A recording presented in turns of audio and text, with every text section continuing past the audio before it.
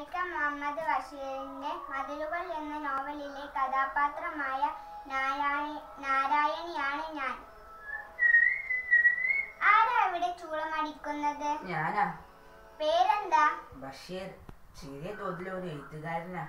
രണ്ടര കൊല്ലം തടവ്. ഞാനിവിടെ തനിച്ച കൂട്ടുകാരെല്ലാം പോയി. അല്ല താങ്കളുടെ പേര് പറഞ്ഞില്ലല്ലോ? നാരായണി. സുന്ദരമായ പേര്. വയസ്സ്? ഇരുപത്തിരണ്ട്. സുന്ദരമായ വയസ്സ്. കഠിന തടവാണല്ലേ? ആ പതിനാല് വർഷം. അപ്പോൾ കലക്കുറ്റമാണല്ലേ? വെന്നിട്ട് ഒത്തിരി നാളായോ?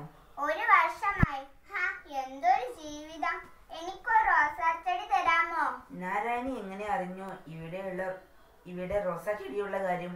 ജയിലല്ലേ എല്ലാവരും എല്ലാം അറിയും ഇവിടെ ഇവിടെ ഒരു രഹസ്യങ്ങളും ഇല്ല. തരാമോ നാരായണി ഈ ഭൂമുഖത്തുള്ള എല്ലാ പനിയും ചെടിയും ഞാൻ നാരായണിക്കായി തരും.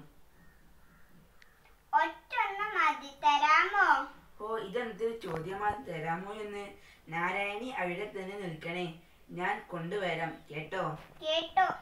നാരായണി നാരായണി. എന്താ? ഞാൻ വിളിച്ചപ്പോൾ ഇവിടെയായിരുന്നു ഇവിടെ ഉണ്ടായിരുന്നു. എന്നിട്ട്? ഞാൻ ഇവിടെ ഒളിച്ചു നിൽക്കുകയായിരുന്നു കള്ളി. ബഷീറെ എനിക്ക് റോസാച്ചെടി കൊണ്ടുവന്നോ? ബഷീറെ ബഷീറെ. ദൈവത്തെ ഇത്ര സ്നേഹത്തോടെ വിളിച്ചിരുന്നുവെങ്കിൽ. വിളിച്ചിരുന്നെങ്കിൽ? ദൈവം എന്റെ മുന്നിൽ പ്രത്യക്ഷപ്പെടുമായിരുന്നു. ദൈവം ആരുടെ മുന്നിലും പ്രത്യക്ഷപ്പെടുകയില്ല.